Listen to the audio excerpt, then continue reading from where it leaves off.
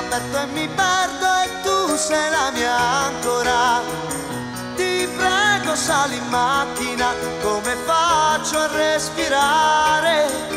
Cosa faccio di me senza te?